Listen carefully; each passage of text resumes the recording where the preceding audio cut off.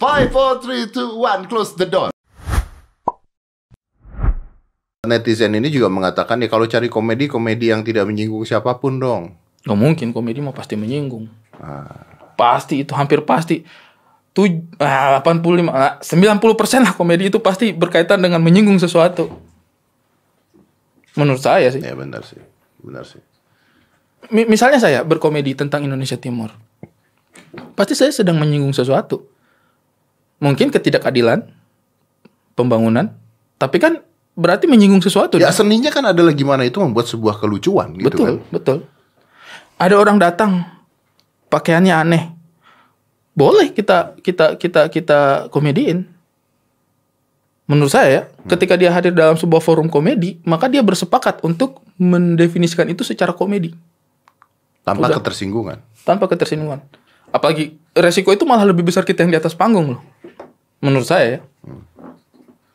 Ketika kita ada di forum komedi, kita kita itu harus eh, berusaha sedapat mungkin untuk mendefinisikan segala sesuatunya ke ranah komedi. Cuma mungkin ada beberapa hal yang eh, di luar nilai-nilai kita, yaitu juga tidak masalah. Misalnya nih saya nonton Panji stand up, ah, lucu banget, lucu banget. Terus misalnya dia bahas satu topik yang untuk saya sensitif dan harusnya nggak dikomediin deh itu. Aduh itu harusnya nggak komedi. Terus saya nggak ketawa. Ya itu sudah menjadi bentuk ketidaksetujuan saya terhadap konten itu. Dan boleh menurut saya orang tidak setuju terhadap konten yang disampaikan. Tapi tidak membenci dianya.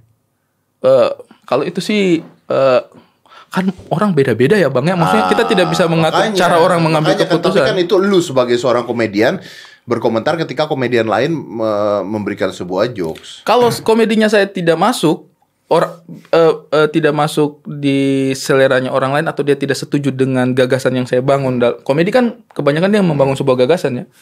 Ketika saya membangun sebuah gagasan dengan tujuan untuk menghadirkan komedi, orang tidak setuju atau bahkan tersinggung, itu eh, eh, menurut saya sih nggak masalah sama Apakah sekali. komedinya Coki tentang virus corona pada saat itu menyinggung orang? Kalau menurut saya sih itu tempat ruangnya yang Salah. ruangnya ya ruang yang kemudian eh, nggak salah juga sih. Tapi ruangnya yang berpotensi menghadirkan eh, reaksi yang seperti itu. Kalau yang saya yang saya lihat itu kan orang bereaksi terhadap eh, apa yang diberikan gitu. Eh, yang terhadap yang terjadi sama saudaranya saya Coki itu eh, menurut saya adalah reaksi. Reaksi dari orang-orang. Nah ketika dia taruh itu misalnya di ruang publik seperti Twitter maka reaksinya akan terlihat di Twitter. Apakah Coki salah? Belum tentu. Apakah orang yang bereaksi terhadap itu salah? Belum tentu. Tetapi reaksi itu tidak bisa kita cegah dong. Reaksi itu tidak bisa kita tidak bisa kita atur gitu. Mungkin cegah bisa, mungkin japri, eh lu nggak usah gitulah gini-gini. Mungkin bisa. Tapi untuk mengatur itu semua tidak bisa dong. Orang pasti baca dalam sesat kemudian menerjemahkan gitu kayak ini tweet lucu nggak ya untuk saya atau malah menyinggung ya sensitif nggak ya dia kayaknya enggak deh secepat itu menurut saya Ya. masalah banjir masalah apa Eh, virus corona. corona dan lain sebagainya saya juga beberapa Cina. kali jokes mungkin akan akan akan menyinggung gitu Hmm.